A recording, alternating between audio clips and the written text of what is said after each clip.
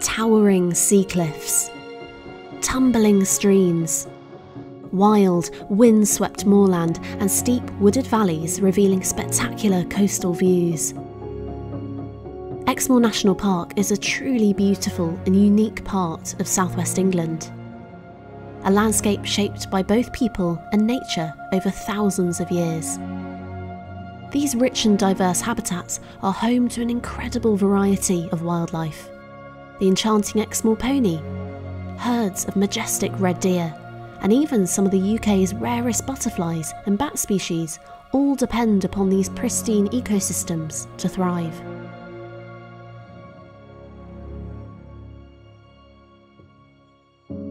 However, these precious habitats give way to a more sinister presence. Japanese knotweed, Montbretia, skunk cabbage, and signal crayfish are just some of the non native invasive species threatening our delicate ecosystems across Exmoor and beyond. Spreading and multiplying, these non native plants and animals leave a long path of destruction that extends far beyond just that of the environment. Our economy, health, and the way we live are also paying the price.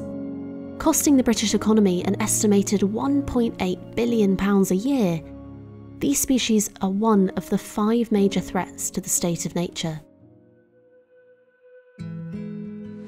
Exmoor National Park Authority has been at the front line of the battle against non-native invasive species since 2005 with its pioneering work controlling Japanese knotweed and more recently its groundbreaking trials on the organic control of knotweed and signal crayfish.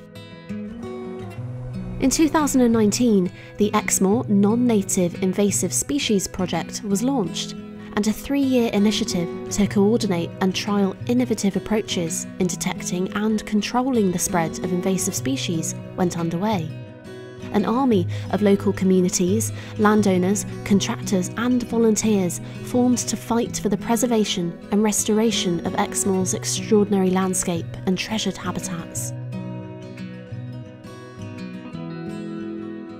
Lynmouth 25 years ago, which is roughly when we started um, treating knotweed here, everything outside of the water was six foot high, wall to wall knotweed. We're in the situation now where we've got native species back, it's actually quite difficult to find the knotweed.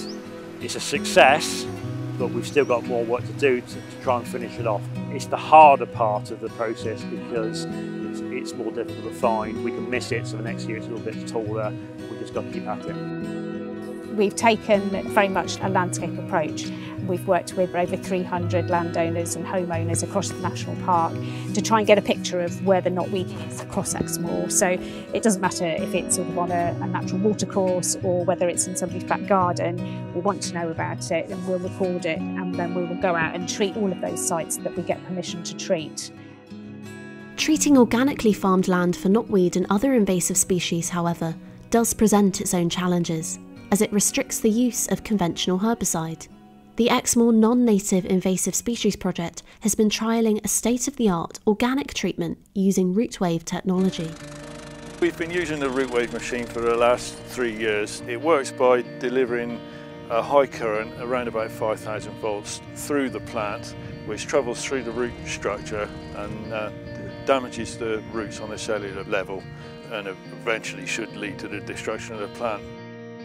The good thing about using Rootwave is uh, you're not putting chemicals into the environment and obviously where we can produce that, that, that's really good. It's also really great because you basically leave the plants decompose, which is perfect for invasive species. You don't want to be spreading them accidentally. Not being able to use herbicides can make life very difficult.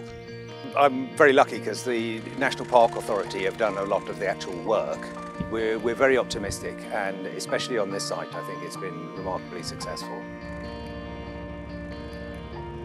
So it's really hard to say how effective Rootwave has been so far, but what we found is it needs several treatments a year. I think to see the results, we're going to have to take a more long-term approach.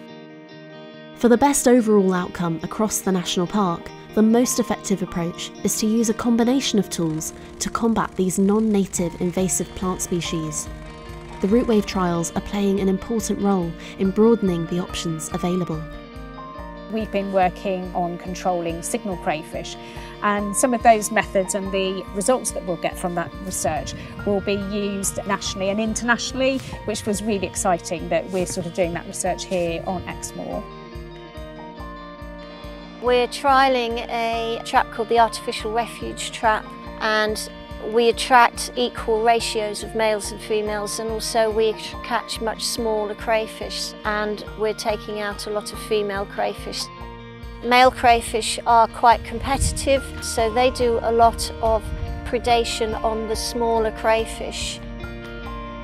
We sterilise them by removing four appendages called gonopods which they use in the mating process.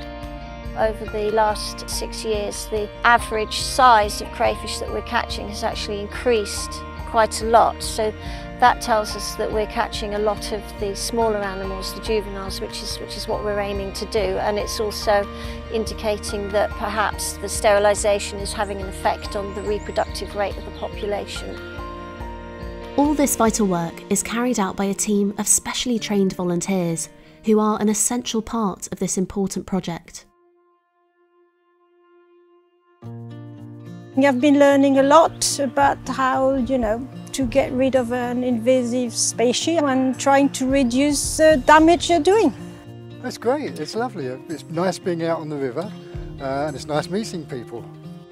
It's a great place to have on my doorstep to come out and enjoy. And hopefully it'll be here for years and years to come and it's through the efforts of the park and other organisations that it's being saved and, and kept for everyone. I think the legacy of the project is a really positive one. We've got some fantastic results, both in terms of on the ground, but also in the different techniques that we're trialling. And so I think that will really help us move forward into the future, particularly looking at some of the organic methods. And also from some of the research of the signal crayfish work has been really interesting and really positive. Some really sort of practical advice that we can distill down into sort of best practice to give to other projects in, in other parts of the country so that they can really benefit from the work that we've done here on Exmoor. So we're really, really really grateful that we've had this opportunity and it's really, really been able to allow us to focus very much on invasives and, and make a real difference, you know, working with um, a, a really fantastic team. The benefits of the project are far reaching and we can already see a vast improvement across the national park. From the landscape, environment and native wildlife to local communities, landowners, visitors and the economy. If you would like more information about how to get involved with the Ennis project and to find out how to submit a non-native invasive species record, please visit www.exmoornationalpark.gov.uk or search online for Exmoor Ennis Project.